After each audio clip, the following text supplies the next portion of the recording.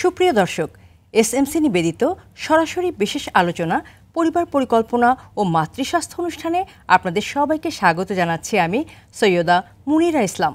দর্শক, বাংলাদেশের শিক্ষা ব্যবস্থায় মেয়েদের অন্তর্ভুক্তি বাড়ছে, সেই সঙ্গে অর্থনৈতিক কর্মকাণ্ডেও বাড়ছে নারীর অংশগ্রহণ। দেশে মাথাপিছু আয় বৃদ্ধির সঙ্গে সঙ্গে উল্লেখযোগ্য উন্নতি হয়েছে সামাজিক ও স্বাস্থ্য ব্যবস্থার বিভিন্ন সূচকে। কিন্তু বাল্যবিয়ের মতো সামাজিক ব্যাধির কারণে কাঙ্ক্ষিত লক্ষ্যমাত্রা অর্জন বারবার বাধাগ্রস্ত হচ্ছে। গবেষণার তথ্য বলছে, দেশে উনষাট শতাংশ মেয়ের বিয়ে হয়ে যাচ্ছে, বয়স আঠারো বছর পেরোনোর আগেই। বিশেষজ্ঞরা বলছেন, বাল্যবিয়ের কারণে মাতৃ ও শিশু মৃত্যুহারে যেমন নেতিবাচক প্রভাব পড়ছে, তেমনি দীর্ঘমেয়াদী স্বাস্থ্য ঝুঁকিতে পড়ছেন বেঁচে যাওয়া কিশোরী মা ও শিশু। তাছাড়া অপূর্ণ চাহিদার ক্ষেত্রে গত এক বছর ধরে গত এক দশক ধরে এক ধরনের স্থবিরতা বিরাজ করছে। ফলে ঘটছে অনাকাঙ্ক্ষিত গর্ভধারণের ঘটনাও। করোনাকালীন সময়ে কমেছে প্রাতিষ্ঠানিক প্রসবের হারও। এসব চ্যালেঞ্জ মোকাবেলায় করণীয় নিয়েই আজ আমরা আলোচনা করব এস এমসি নিবেদিত পরিবার পরিকল্পনা ও মাতৃস্বাস্থ্য অনুষ্ঠানে। আলোচনার বিষয়ে বাংলাদেশের আর্থসামাজিক প্রেক্ষাপটে পরিবার পরিকল্পনা ও মাতৃস্বাস্থ্য পরিস্থিতির উন্নয়নে চ্যালেঞ্জ ও করণীয়। আর এই বিষয়ে আলোচনার জন্য আজ আমাদের সঙ্গে স্টুডিওতে আছেন পরিবার পরিকল্পনা অধিদপ্তরের সাবেক মহাপরিচালক কাজী এ কে এম মহিউল ইসলাম এবং এসএমসির উপব্যবস্থাপনা পরিচালক তসলিম উদ্দিন খান। যাচ্ছি মূল আলোচনায়। জনাব মহিউল ইসলাম ছোট্ট ভূখণ্ডের বাংলাদেশে প্রায় সাড়ে ষোলো কোটি জনসংখ্যা। এমন এমন জনসংখ্যা ঘনিষ্ঠ দেশে মানে অনেক ঘনত্ব বাংলাদেশে আমাদের জনসংখ্যার।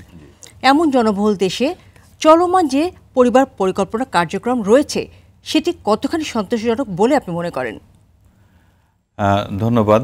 যেমনটি আপনি শুরুতেই বলছিলেন যে আমাদের জনসংখ্যা এবং আমাদের বিভিন্ন সরকারি স্বাস্থ্যসেবা এগুলো নিয়ে কথা বলছিলেন। প্রাথমিকভাবে বলতে পারি যে ধীরে ধীরে কিন্তু বাংলাদেশে পরিবার পরিকল্পনার প্রভূত উন্নতি সাধিত হয়েছে। আমি যদি শুরুতেই বলি যে দেখুন স্বাধীনতার সময় আমাদের মাতৃমৃত্যুর হার ছিল কিন্তু অ্যারাউন্ড সিক্স হান্ড্রেড ছয়শো পার লাখ লাইভ বার্থে এটা কমতে কমতে এখন এখন ওয়ান সিক্সটি সিক্সটি ফাইভ কাছাকাছি এসছে। এবং এটা একটা উন্নতি। আমাদের কন্ট্রাসেপটিভ প্রিভেলেন্স রেট জি। যেটা এখন সিক্সটি টু পার্সেন্ট সেটা কিন্তু আসলে আশি পঁচাশির দিকে এগুলো অনেক নিচে ছিল। এইট পার্সেন্টের নিচে ছিল। একইভাবে শিশু মৃত্যুর হারও কমেছে। কিন্তু বিষয়টা হচ্ছে যে এগুলোকে আরও কমাতে হবে। আরও কমাতে হবে। কিন্তু তারপরেও আমাদের সরকারের প্রচেষ্টা সরকারি এনজিও সরকারি প্রতিষ্ঠানের সঙ্গে এনজিওদের একসঙ্গে কাজ করা এবং জনসচেতনতা উইমেন এম্পাওয়ারমেন্ট সব কিছু মিলে পরিবার পরিকল্পনার কিন্তু অনেক উন্নতি হয়েছে। কিন্তু আমরা মনে করি যে আরও অনেক দূর আমাদেরকে যেতে হবে। আরও অনেক অনেক পথ আমাদেরকে পার হতে হবে। এবং সেই জন্য বিশেষ কিছু কার্যক্রম আমাদের হাতে নিতে হবে নেওয়াও হয়েছে। হয়তো আমরা আলোচনার মধ্যে আবার আলোচনা করব এগুলো জি আমরা সেই কার্যক্রমগুলো সম্পর্কে শুনব আপনার কাছে। জনাব তসলিম উদ্দিন খান। বলা হয়ে থাকে বাল্য বিয়ে মা ও শিশু মৃত্যুর অন্যতম কারণ। এটা কতখানি সত্য? এবং মা ও শিশু মৃত্যুর জন্য কেন এই বাল্য বিয়েকে দায়ী করা হচ্ছে শুধু? ধন্যবাদ আপনাকে। আপনি বাল্য বিবাহের প্রসঙ্গ তুলে ধরেছেন এবং বলছেন যে বাল্য বিবাহ কেন শত্রু মা ও শিশু স্বাস্থ্যের ক্ষেত্রে। আপনি প্রথমেই একটা তথ্য আমরা বলতে চাই যে বাংলাদেশে যে পাবলিক হেলথের জনস্বাস্থ্যের কর্মসূচিতে সব থেকে অন্যতম একটা দুশ্চিন্তার বিষয় হলো এই বাল্যবিবাহ। বাংলাদেশে কিন্তু প্রায় ফিফটি নাইন পার্সেন্ট কিশোরীর বিয়ে হয়ে যায়। আমাদের আইন আছে আঠারো বছরের আগে বিয়ে হবে না। কিন্তু এদের বিয়ে হয়ে যাচ্ছে। বিভিন্ন আইনের ফাঁক ফোকরে সরকারি প্রচেষ্টা উদ্যোগ আছে চেষ্টা করছে কিন্তু তারপরেও এটা হচ্ছে। বিভিন্ন কারণে এটা হচ্ছে। কিন্তু এটা জনস্বাস্থ্যের জন্য একটা অন্যতম প্রধান হুমকি। এখন কেন হুমকি? আমরা বলি আঠারো বিশ পঁয়ত্রিশ দিন। আঠারো বছরের আগে বিয়ে না বিশ বছরের আগে সন্তান না দুইটা সন্তানের মধ্যে ব্যবধান তিন তিন বছর কমপক্ষে থাকতে হবে এবং পঁয়ত্রিশ বছরের পরে সন্তান না। গবেষণায় দেখা গেছে এর যদি ব্যথায় ঘটে অর্থাৎ এই আঠারো বছরের আগে বা বিশ বছরের আগে সন্তান নেয়, তাহলে সেখানে মাতৃমৃত্যুর হার বেশি, সেখানে শিশু মৃত্যুর হার বেশি। এখন প্রশ্ন হলো, সেখানে কেন মাতৃমৃত্যুর হার বেশি, কেন শিশু মৃত্যুর হার বেশি? দেখুন, একটা শিশু যদি আরেকটা শিশুকে জন্ম দেয়, অর্থাৎ আঠারো বছরের আগে কিন্তু শিশু, এখন এই শিশু যদি আরেকটা শিশু, একটা শিশুর মধ্যে থাকে, সে তো ওই কিশোরীটি তো মেন্টালি প্রিপেয়ার্ড না ফিজিক্যালি প্রিপেয়ার্ড না কিন্তু সে প্রেগনেন্ট হয়ে যাচ্ছে। তো যার জন্য বিভিন্ন কমপ্লিকেশন হচ্ছে। তারপরে আরেকটা ইস্যু হলো ওই শিশুটিরও কিন্তু ভলনারেবল সিচুয়েশনে থাকে। আমরা পরিসংখ্যান বিভিন্ন পরিসংখ্যানে দেখেছি যে এদের মধ্যে তাদের নিউট্রিশনের অভাব থাকে। এই কিশোরীদের নিউট্রিশনের অভাব থাকে। এখন নিউট্রিশনের বিভিন্ন রকমের নিউট্রিশনের অভাব থাকে। জিঙ্কের অভাব থাকে তার মধ্যে আয়রন ফলিক অ্যাসিডের অভাব থাকে ভিটামিন ডি এর অভাব থাকে ভিটামিন এর অভাব থাকে। এই অভাবজনিত কারণের পরে তার যদি একটা সে যখন প্রেগনেন্ট হয় তখন এই মাল্টি মাল্টিপল মাইক্রোনিউট্রিশনের অভাবটা আরও বেশি দেখা দেয়। এরপরে যখন তার সন্তান হয় সেই সন্তানটিও অপুষ্টিতে ভোগার সম্ভাবনা অত্যন্ত বেশি থাকবে। আমরা জানি টু পয়েন্ট ফাইভ কেজির কমপক্ষে ওজন না হলে একটা শিশু সে অপুষ্টিজনিত কারণে ভোগে। সেই, সেইটা দেখা যায় বাংলাদেশে প্রায় আঠারোটি শিশু এইরকম লো বার্থ ওয়েট হয়। তো এই শুধু লো বার্থ ওয়েট একটা না আরও বিভিন্ন সূচক রয়েছে এই নিউট্রিশন পরিমাপের শিশুদের। সেখানে দেখা যায় যে তারা নিউট্রিশনের অভাব ভোগে এবং এই প্রবলেমটা হয়। সেই কারণেই আমরা বলি যে মাতৃমৃত্যুর এবং শিশু মৃত্যুর একটা অন্যতম ঝুঁকি হলো একজন কিশোরীকে বিয়ে দেওয়া এবং তার সন্তান হওয়া। অনেক ধন্যবাদ আপনাকে। জনাব মহুল ইসলাম, বলা হয়ে থাকে পরিবার পরিকল্পনার অপূর্ণ চাহিদা বা আনমেট নিটের ক্ষেত্রে গত এক দশক ধরে এক ধরনের স্থবিরতা বিরাজ করছে। এক্ষেত্রে আঞ্চলিক পার্থক্য রয়েছে। এর কারণ কি এবং এর প্রতিকারটা কি? ধন্যবাদ। এটা অত্যন্ত আলোচিত একটি বিষয়, এই আনমেট নিডটা সারা বাংলাদেশ কেন? সারা পৃথিবীতে এটা নিয়ে আলোচনা হচ্ছে। আমি সম্মানিত দর্শকদের উদ্দেশ্যে বলতে চাই যে একটা অর্গানাইজেশন ছিল এপি টোয়েন্টি টোয়েন্টি যেটার নাম এখন এপি টোয়েন্টি থার্টি হয়েছে। তাদেরও কিন্তু প্ল্যান ছিল they started in twenty twelve এবং তারা প্ল্যান করেছিল যে একশো বিশ ওয়ান হান্ড্রেড টোয়েন্টি মিলিয়ন মহিলাকে তারা মডার্ন কন্ট্রাসেপটিভসের আন্ডারে আনবে অ্যাডিশনাল তো দুই হাজার বারো থেকে দুই হাজার বিশ পর্যন্ত অনেক প্রচেষ্টা করা হয়েছে। অনেক চেষ্টা করার পরে কিন্তু তারা ফর্টি সেভেন মিলিয়ন সাতচল্লিশ মিলিয়নকে মাত্র আনতে পেরেছে। তার মানে একশো বিশ থেকে কিন্তু আমরা অর্ধেকেরও কম কম গ্লোবালি পেরেছি আর কি। একইভাবে বাংলাদেশে কিন্তু unmet need twelve percent twelve percent এসে ঠেকেছে এখন। এটা আর অনেক হাই ছিল আগে। তো এখন আনমেট নিড মানেই হচ্ছে যে যার কন্ট্রাসেপটিভসের চাহিদা আছে কিন্তু কোনোভাবে সে পাচ্ছে না। হয় সে কোথাও যাচ্ছে না তার অ্যাক্সেস নাই অথবা যারা তাদের কাছে গিয়ে পৌঁছে দেওয়ার কথা তারা পৌঁছাচ্ছে না। সুতরাং তার চাহিদাটা অপূর্ণ থেকে যাচ্ছে। এই জায়গাটায় কিন্তু অনেক কাজ করার আছে। আমরা চাই এই বারো পার্সেন্টকে নামিয়ে জিরো করতে। যাতে করে যাদের নিড আছে যারা ফ্যামিলি প্ল্যানিংকে মেনটেন করতে চায় প্ল্যান করতে চায় তারা যেন সেই সাপোর্টটা আমাদের কাছ থেকে পায় সরকারের কাছ থেকে যেন পায়। এটা খুঁজে খুঁজে বের করে তাদেরকে কিন্তু এই চাহিদা পূরণ করতে হবে। এটার জন্য যে কৌশলগুলো অলরেডি নেওয়া হয়েছে সেগুলো আরও আরও জোরদার মনিটরিং করা দরকার এবং সবাই যেন খুব আন্তরিকতার সঙ্গে এই সার্ভিসটা ডেলিভারি দেয়। কারণ এটার সঙ্গে খুব গুরুত্বপূর্ণ একটা তথ্য আমি আর একটু যোগ করতে চাই। সেটা হচ্ছে যে আপনি জানেন যে হেলথের রিসার্চ সংক্রান্ত খুব বিখ্যাত জার্নাল দি ল্যান্সেট। ল্যান্সেটে কিন্তু দু হাজার ষোলো সালেও পাবলিকেশন আছে যে আনমেট নিডটাকে যদি আমরা মানে নাইনটি পার্সেন্ট যদি কভার করতে পারতাম তাহলে কিন্তু মাতৃমৃত্যুর হার বাইশ পার্সেন্ট কমে যেত। শিশু মৃত্যুর হার বাইশ পার্সেন্ট কমে যেত। এবং মৃত সন্তান জন্মের হার আট পার্সেন্ট কমে যেত। সুতরাং একটা ইন্টারভেনশনে দেখেন আমরা কতগুলো কিন্তু পারছি না কেন অ্যাচিভ অ্যাচিভ করতে হবে। জি। পাড়ার বিষয়টা হচ্ছে এখন দেখেন ফ্যামিলি প্ল্যানিংয়ে কিন্তু অনেকগুলো কাজ করার আছে। যেমন জেনারেল একটা পারসেপশন হচ্ছে family planning it's subject matter of women এটা যেন শুধু মেয়েদের। এবং ফ্যামিলি প্ল্যানিং মেথডসের মধ্যেও যেগুলো আছে দেখবেন বেশিরভাগই ফর দি উইমেন ছেলেদের জন্য কম। সুতরাং মেল ইনভলভমেন্ট লাগবে। মেলরা ছেলেরা যেন মোটিভেটেড হয় টু প্র্যাকটিস ফ্যামিলি প্ল্যানিং এটা হচ্ছে একটা। আর অন্যান্য লজিস্টিক যে সমস্ত বিষয়গুলো আছে একটু জনবলের অভাব আছে প্রশিক্ষণের অভাব আছে বা একটু রিফ্রেশার কোর্স ট্রেনিং অনেক আগে নিয়েছে ভুলে গেছে সেগুলো। আর একটা হচ্ছে যে মানুষের মধ্যে আস্থা তৈরি করা যেমন কেউ কোনো একটা প্র্যাকটিস করতে গিয়ে হয়তো একটা সাইড ইফেক্টের সম্মুখীন হলো। জি। সেটা যদি অ্যাড্রেস না করা হয় যেটা আইইউডির ক্ষেত্রে হয়েছে অ্যাড্রেস না করলে পরবর্তীতে তাতে কিন্তু অনেকে আগ্রহ হারিয়ে ফেলে এবং তারাই অন্যদেরকে বলতে থাকে যে এটা আমার সমস্যা সৃষ্টি করেছে। সুতরাং এই প্রত্যেকটা জিনিস যদি ওয়ান বাই ওয়ান সলভ করা যায় লোকবলের অভাব আপনি জানেন এখন মাঠে প্রায় তিরিশ পার্সেন্ট পদ কিন্তু খালি। সুতরাং সরকার যেটা করেছে অধিদপ্তর মন্ত্রণালয় যেটা করেছে যে তারা কিছু ভলান্টিয়ার নিয়োগ দিয়ে এই শূন্যতাটাকে সাময়িকভাবে পূরণ করার চেষ্টা করেছে। এই জন্যই কিন্তু ফ্যামিলি প্ল্যানিংয়ের কাজ এগোচ্ছে। এই যে সর্বশেষ যে সুমারি সেটাও কিন্তু দেখাচ্ছে যে সেখানে পপুলেশন গ্রোথটা গতবারের চেয়েতেও কমেছে ওয়ান পয়েন্ট টু টু হয়েছে। যদিও এটা প্রাথমিক তারপরেও ইট ইজ অ্যান ইন্ডিকেশন সুতরাং আগাচ্ছে কিন্তু আমরা এটার গতি আরও বাড়াতে চাই।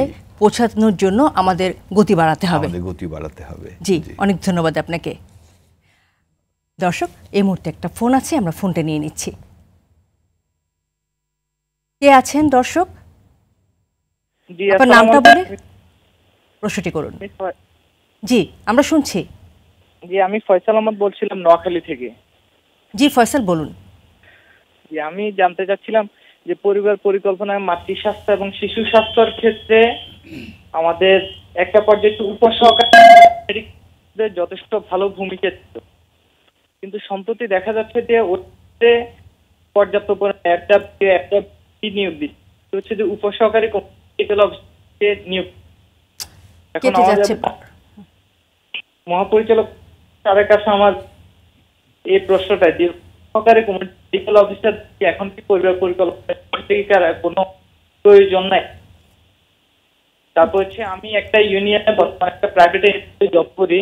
তো ওখানে কমিউনিটি ক্লিনিক আছে কিন্তু কোনো ইউনিয়ন স্বাস্থ্য কেন্দ্র নাই। এবং ওখানে সর্বোচ্চ বিশাল আমার প্রায় হচ্ছে পঁচিশশো সামথিং খানা আছে। ওখানে টোটাল এই ইউনিটে কোনো ডাক্তার নাই, কোনো হচ্ছে উপসহকারী কমিউনিটি মেডিকেল অফিসার নাই। শুধুমাত্র এফডাব্লিউ এ এবং এফডাব্লিউ দিয়ে কি এই টার্গেটগুলো কি অর্জন করা যাবে? জি, ফয়সাল, ধন্যবাদ আপনাকে। আমরা এই প্রশ্নটি নিয়ে আলোচনা করব, তবে একটি বিরতির পর। দর্শক এসএমসি নিবেদিত বিশেষ আলোচনা, পরিবার পরিকল্পনা ও মাতৃস্বাস্থ্য অনুষ্ঠানে নিচ্ছে ছোট্ট বিরতি। সঙ্গেই থাকুন।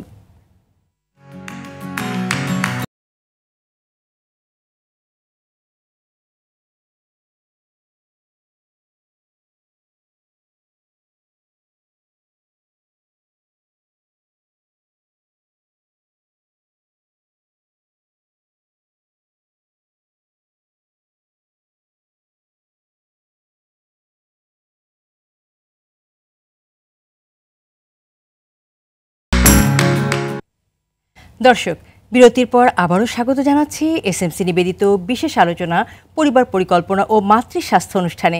সঙ্গে আছে আমি সৈয়দা মুনিরা ইসলাম। দর্শক, আজ আমরা আলোচনা করছি বাংলাদেশের আর্থসামাজিক প্রেক্ষাপটে পরিবার পরিকল্পনা ও মাতৃস্বাস্থ্য পরিস্থিতির উন্নয়নে চ্যালেঞ্জ ও করণীয় নিয়ে।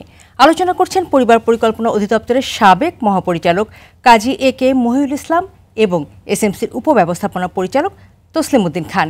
ফিরছি আলোচনায়। জনাব তসলিমুদ্দিন খান আমরা বিরতিতে যাওয়ার আগে একজন দর্শকের প্রশ্ন ছিল ওনার নাম ছিল ফয়সাল। ফয়সাল মানে জানতে চাচ্ছিলেন যে আগে পরিবার পরিকল্পনা কার্যক্রম যেমনটা ছিল এখন তেমনটা দেখা যাচ্ছে না। এটা কেন? আপনি কতটা একমত ওনার সাথে? ফয়সাল সাহেবকে ধন্যবাদ এই প্রশ্ন করার জন্য এবং এই প্রোগ্রামটা উনি দেখছেন। একটা বিষয় হলো যে পরিবার পরিকল্পনায় আপনি যদি ওইভাবে চিন্তা করেন বাংলাদেশে রুরাল বিশেষ করে রুরালের কথা বলেছেন, এই ইনফ্রাস্ট্রাকচারটা আছে community clinic sorry community clinic আছে একদম গ্রামে। তারপরে ইউনিয়ন পর্যায়ে, যেটাকে আমরা বলি এফডব্লিউসি ফ্যামিলি ওয়েলফেয়ার সেন্টার আছে, তারপরে থানা হেলথ কমপ্লেক্স আছে, এবং প্রতিটা ওয়ার্ডের জন্য এফডব্লিউএ আছে, পরিবার কল্যাণ সহকারী এফডব্লিউএ বলি আমরা। এফডব্লিউ ভি আছে, যারা টেকনিক্যাল গ্রুপ তারা সাপোর্ট দেয় আপনার আইউডি সহ অন্য অন্য ইনজেক্টেবল এবং অন্যান্য সার্ভিস পরিবার পরিকল্পনা কর্মসূচিতে সম্পর্কিত, সম্পৃক্ত, এই যে গ্রুপটিকে কথা আমি বললাম এফডব্লিউ এ হাজার হাজার এফডব্লিউ ভি এবং তার সাথে তাদের যারা সুপারভাইজ করে তারা এফপিএ এরা কিন্তু শুধুমাত্র পরিবার পরিকল্পনা কর্মসূচি বাস্তবায়ন করে তা না। তারা মাতৃস্বাস্থ্য কর্মসূচি বাস্তবায়ন করে তারা স্যাটেলাইট ক্লিনিকের মাধ্যমে প্রেগনেন্ট মাকে সহায়তা করে এএনসি সার্ভিস তারা দেয়। তারা বিভিন্ন কর্মসূচি স্বাস্থ্য ব্যবস্থার সাথে বিভিন্ন ভিটামিন এ ডিস্ট্রিবিউশন করে হ্যাঁ? ইমিউনাইজেশনের সাথে তাদের একটা সম্পর্ক আছে। অর্থাৎ তারা ইন্টিগ্রেটেড ওয়েতে শুধুমাত্র পরিবার পরিকল্পনা কর্মসূচিতে সহায়তা করে তা কিন্তু না। তারা মাতৃস্বাস্থ্যের ক্ষেত্রে একটা বিরাট ভূমিকা পালন করে। এখন দু এক জায়গায় হয়তো জনবলের একটা সমস্যা থাকতে পারে। সেটা হলো ডিফারেন্ট ইস্যু কিন্তু ওভারঅল কিন্তু তারা একটা বিরাট ভূমিকা পালন করছে।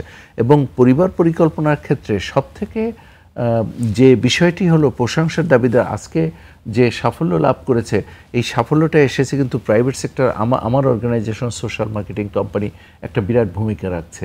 প্রায় thirty eight percent contraception is coming from social marketing company তাদের প্রচেষ্টা রয়েছে একেবারে গ্রাম পর্যন্ত। তো এই যে প্রাইভেট সেক্টরকে সুযোগ করে দিয়েছে সরকার সরকারের নিজস্ব তো কর্মী বাহিনী রয়েছে ইন এডিশন প্রাইভেট সেক্টরকে সুযোগ করে দিয়েছে কাজ করার জন্য এনজিওকে সুযোগ করে দিয়েছে কাজ করার জন্য। এটা একটা সম- সমন্বিত কার্যক্রম। এই সমন্বিত কার্যক্রমটা গতি পেয়েছে। হ্যাঁ এই সমন্বিত কার্যক্রমেরই রেজাল্ট আজকে এই সাফল্য।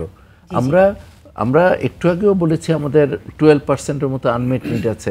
এই আনমেড নিড থাকার মধ্যেও এছাড়াই আমরা কিন্তু আজকে টিএফআর ওয়ান পয়েন্ট নাইন অর্থাৎ যেটা রিপ্লেসমেন্ট আমরা বলি যে এটা হলেই আমাদের রিপ্লেসমেন্ট লেভেল অর্থাৎ একজন মা তখন তার যখন রিপ্রোডাক্টিভ সাইকেল শেষ হবে আর একজন আর একটা মেয়ে সেটাকে রিপ্লেস করবে। এরকম অবস্থায় আমরা কিন্তু চলে গেছি। তো সাফল্য তো এসেছে এটা কীভাবে আসলো যদি এফোর্ট না থাকতো? অবশ্যই অবশ্যই। আপনাকে অনেক ধন্যবাদ। জনাব মহিউল ইসলাম আপনার কাছে দর্শকের যে প্রশ্নটা ছিল তার দ্বিতীয় অংশ ছিল যে ইনফ্রাস্ট্রাকচার অনেক আছে কিন্তু লোকবলের প্রকট অভাব। সেক্ষেত্রে উনি তো নোয়াখালী থেকে বলছিলেন যে সেখানে বলছে উপসহকারী কমিউনিটি মেডিকেল অফিসার সেই পদে দীর্ঘদিন ধরেই লোকজন বা লোকবল নিয়োগ দেওয়া হচ্ছে না এই বিষয় সম্পর্কে। মানে এর কি প্রভাব পড়ছে আমাদের পরিবার পরিকল্পনা কার্যক্রমের উপর? জি জি ধন্যবাদ এবং ফয়সল সাহেবকে ধন্যবাদ। ওনার প্রশ্নের মধ্যে একটা দুশ্চিন্তা লক্ষ্য করছি যে যে দুশ্চিন্তা আমাদেরও। যেমন আমিও যেটা বলছিলাম যে অনেক পথ কিন্তু মাঠ পর্যায়ে খালি আছে যেটা পূরণ করার জন্য মন্ত্রণালয় এবং অধিদপ্তর কিন্তু সক্রিয় আছে। কিন্তু অনেক সময় হয় কি যে সরকারি অনেক নিয়োগের ক্ষেত্রে খুব দ্রুত অনেক কিছু করা যায় না। আইন মেনে নিয়ম মেনে করতে হয় অনেক সময় আইনি জটিলতা থাকে এবং এই এই ধরনের নিয়োগের ক্ষেত্রেও কিন্তু অনেক আমরা আইনি জটিলতার সম্মুখীন হয়েছি এবং সেগুলো সমাধান করতে সময় লাগে। কিন্তু পদ খালি আছে মানে পদটা তো সৃজন হয়েছিল টু সার্ভ দি পিপল এবং পদে যদি লোক না থাকে ডেফিনেটলি সেটা তো অবশ্যই পূরণ করতে হবে। তা না হলে কাজ তো পরিপূর্ণভাবে হবে না। সেজন্য যে কথাটা আমি বলছিলাম যে অনেক ক্ষেত্রেই চাহিদা এবং কাজের লোড বেশি হওয়ার ফলে ভলান্টিয়ার নিয়োগ করেও কিন্তু অধিদপ্তর আচ্ছা, আচ্ছা। এটা এটা কাজ করছে মন্ত্রণালয় সেই অনুমতি দিয়েছে অর্থ মন্ত্রণালয় সেই আর্থিক বরাদ্দ দিয়েছে এভাবে চলছে। কিন্তু অবশ্যই ফয়সল সাহেবের প্রশ্নের প্রতি আমি সম্মান রেখেই বলছি যে এই বিষয়ে কিন্তু মন্ত্রণালয় সরকার সজাগ আছে এবং যত দ্রুত সম্ভব এই এই পদগুলো পূরণ করে পরিপূর্ণভাবে পরিকল্পনা পরিবার পরিকল্পনা যেন পুরো মাত্রায় পুরোদমে মাঠে নামতে পারে। কারণ হচ্ছে যে শেষের লাস্ট মাইল খুব কষ্টের হয়। অনেক পথ আসা যায় কিন্তু শেষের দিকে পথগুলো খুব কঠিন হয়। এখন ঠিক তাই। অনেক অর্জন হয়েছে কিন্তু শেষের দিকের অর্জনটা অনেক বেশি শক্তি প্রয়োগ করতে হবে অনেক রিসোর্স নিয়োগ করতে হবে তাহলেই হবে। তো নিয়োগ প্রক্রিয়া এগুলো চলমান চলছে। আমার ধারণা যে এইগুলো দ্রুত পথ পূরণ হবে। অনেক ধন্যবাদ আপনাকে। জনাব তসলিমউদ্দিন খান বলা হয়ে থাকে পরিবার পরিকল্পনায় বিনিয়োগ করলে তার ইতিবাচক প্রভাব পড়ে মা ও শিশু স্বাস্থ্যসহ অন্যান্য উন্নয়ন সূচকে। কিন্তু সেটা কীভাবে? জি আমি একটু আগে বলেছি যে আপনি প্রথম প্রশ্নটাই তার উত্তর কিন্তু অনেকটা আছে। আপনি কিশোরীদের বাল্যবিবাহের কথা বলেছেন। আমি বলেছি যে বাল্যবিবাহ হলে অল্প বয়সে যদি ইয়ে, সন্তান ধারণ করে সেখানে মাতৃমৃত্যু শিশু মৃত্যু বেশি হয়। এখন সেটা রোধ করা কীভাবে সম্ভব হবে? একমাত্র মনে হয় সমাধান হলো পরিবার পরিকল্পনা কর্মসূচির মধ্যে ওই কিশোরীটাকে নিয়ে নিয়ে আসা। তাহলেই সে প্রেগনেন্ট হবে না। প্রেগনেন্ট না হলে জটিলতা কমবে। এবং মাতৃমৃত্যু, শিশু মৃত্যুর স্বাভাবিক কারণেই সংখ্যা কমে যাবে। আমরা দেখেছি পরিবার পরিকল্পনা কর্মসূচির সাথে ওতপ্রোতভাবে জড়িত মাতৃমৃত্যু এবং শিশু মৃত্যু। আপনি ধরেন যদি তিন বছর ব্যবধান না থেকে আরেকটি শিশু জন্ম নেয়, তাহলে ও মা কিন্তু প্রস্তুত হয় না নেক্সট প্রেগনেন্সি ক্যারি করার জন্য। সেক্ষেত্রেও কিন্তু দেখা যায় যে ঝুঁকি অনেক বেড়ে যায়। পরিবার পরিকল্পনা কর্মসূচির যখন বাস্তবায়ন হয়, এর মধ্যে একটা কর্মসূচি আছে, সেটা হলো আমরা বলি যে পোস্টপার্টম ফ্যামিলি প্ল্যানিং পদ্ধতি। সেটা কীরকম সেটা হলো যে মা বাচ্চা হলো সন্তান ভূমিষ্ঠ হওয়ার পরে তাকে কিন্তু আইউডি ওই তাৎক্ষণিকভাবে আমরা আইউডি ইনসার্ট করে আমরা তাকে পরিবার পরিকল্পনার কর্মসূচির মধ্যে নিয়ে আসতে পারি। অথবা এখন ইমপ্লান্টও আছে, তার জন্য বিভিন্ন পদ্ধতি রয়েছে। এই পদ্ধতিগুলো যদি সে ব্যবহার করে, তাহলে মা কিন্তু খুব কাছাকাছি আর একটা গর্ভের ঝুঁকিটা কম হবে। এই গর্ভের ঝুঁকিটা যদি আমরা কমিয়ে দিতে পারি, তাহলে কিন্তু তার শিশু মৃত্যু এবং মাতৃমৃত্যুর সম্ভাবনা অনেক কমে যাবে। এইভাবে যদি বিভিন্নভাবে আমরা বিশ্লেষণ করে দেখেছি যে মাতৃমৃত্যু এবং শিশু মৃত্যু, শুধু এটা কিন্তু ইয়াঙ্গার বয়সে বা এই ডিফারেন্সে না, থার্টি ফাইভের পরে আবার গবেষণা করে দেখা গেছে যে মার যদি বয়স থার্টি ফাইভ হয় তারপরে যদি সন্তান জন্ম দেয় সেখানেও মাতৃমৃত্যু এবং শিশু মৃত্যুর হার বেশি হয়। তো এই সার্বিকভাবে বিশ্লেষণ করলে কেন তখনও মা কিন্তু আর তার যে শারীরিক আই মিন প্রিপারেশনটা সেটা আস্তে আস্তে কমের দিকে যায়। তো এই যে সার্বিকভাবে যদি আপনি বিশ্লেষণ করেন তাহলে দেখতে পাবেন যে পরিবার পরিকল্পনায় ইনভেস্ট করা শুধু পরিবার পরিকল্পনায় আপনি জনসংখ্যা নিয়ন্ত্রণ না তার সাথে সাথে শিশু স্বাস্থ্য মাতৃস্বাস্থ্য এবং সার্বিক পাবলিক হেলথের একটা বিরাট সম্পর্ক রয়েছে। সেটাই বোঝা যাচ্ছে। জি। ধন্যবাদ আপনাকে। যারা মহিউল ইসলাম প্রাতিষ্ঠানিক ডেলিভারি বা প্রসব কতখানি গুরুত্বপূর্ণ এবং সেটা কেন? ধন্যবাদ। প্রাতিষ্ঠানিক ডেলিভারি মানেই হচ্ছে যিনি সন্তান প্রসব করতে যাচ্ছেন তিনি একটা সেফ হ্যান্ডে যাচ্ছেন। আমাদের দেশে যেটা হয় যে প্রাতিষ্ঠানিক সুবিধা নেয়ার ক্ষেত্রে অনেক সময় অনেকে এমন রিমোট এলাকায় থাকে অনেক অনেক রকম আর্থিক কষ্টে থাকে তারা হয়তো ব্যয়বহুল মনে করে কেন্দ্রে আসা। এই জন্য তারা অনেক সময় বাড়িতে ডেলিভারির আশ্রয় নেয় এবং যারা করান তাদের মধ্যে অনেকেই কিন্তু এ বিষয়ে প্রশিক্ষিত নয়। এবং তারা অনেক ক্ষেত্রে এমন জটিল করে ফেলে যে তার পরবর্তীতে যদি তাকে আরও জেলা বা বিভাগীয় হসপিটালেও নিয়ে যাওয়া হয় ততক্ষণে কিন্তু তার অনেক বেশি ড্যামেজ হয়ে গেছে। সুতরাং এই বিষয়টা খুব ভালো করে কমিউনিকেট করারও দরকার যে অনভিজ্ঞ লোকের দ্বারা যদি প্রসব করানো হয় তাহলে কি ধরনের ঝুঁকি বিদ্যমান আছে এটা সবাইকে বলতে হবে। এটা এটা বলা হয় কিন্তু আরও বেশি করে বলতে হবে যাতে করে তারা এই বাড়িতে এ ধরনের ডেলিভারি আশ্রয় না নেয়।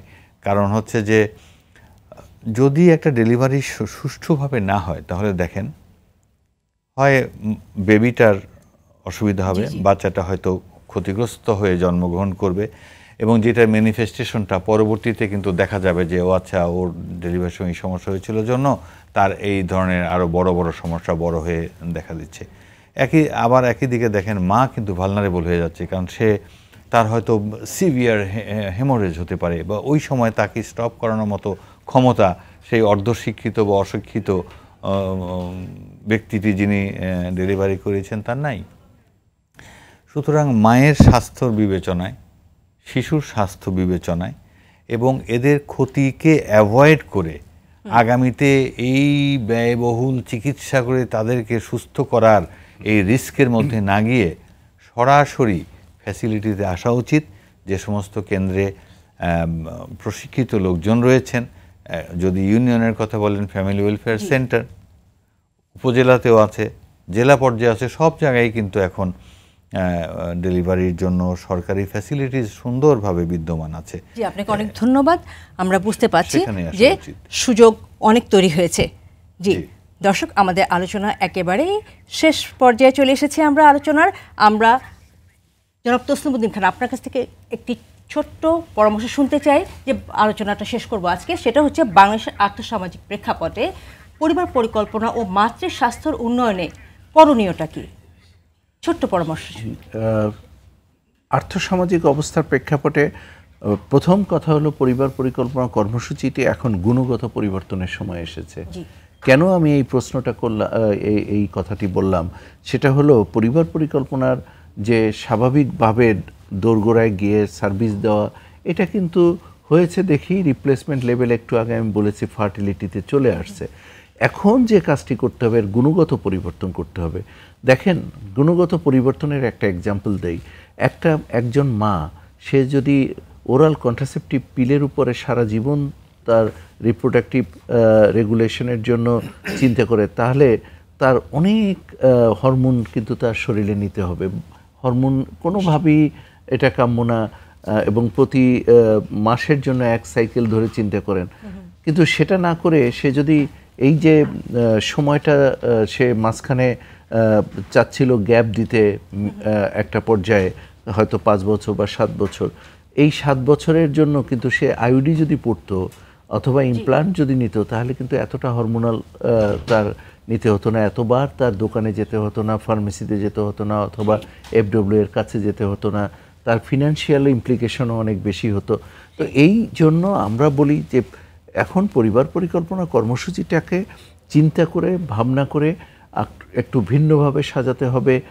যারা লং অ্যাক্টিং রিভার্সেবল কন্ট্রাসেপশন দীর্ঘমেয়াদী পদ্ধতি যাদের জন্য প্রযোজ্য তারা দীর্ঘমেয়াদী পদ্ধতি নিবে পার্মানেন্ট পদ্ধতি যাদের জন্য প্রযোজ্য তারা নিবে। এভাবে যদি আমরা কার্যক্রমটা পরিচালিত করি এবং অনেক ধন্যবাদ আপনাদেরকে আজকের এই বিশেষ আলোচনায় অংশগ্রহণ করার জন্য। ধন্যবাদ। দর্শক আজ ছিল এসএমসি নিবেদিত বিশেষ আলোচনা, পরিবার পরিকল্পনা ও মাতৃস্বাস্থ্য অনুষ্ঠানটির শেষ পর্ব। আগামীতেও এসএমসির সহযোগিতায় পরিবার পরিকল্পনা, মাতৃ ও শিশু স্বাস্থ্য, গর্ভবতী মায়েদের সেবা, কিশোর কিশোরীর স্বাস্থ্য সেবা, পুষ্টি ব্যবস্থাপনার মতো গুরুত্বপূর্ণ ইস্যু নিয়ে খুব শীঘ্রই আবারও ফিরে আসব। সে পর্যন্ত সবাই ভালো থাকুন, সুস্থ থাকুন, সঙ্গে থাকার জন্য অনেক ধন্যবাদ।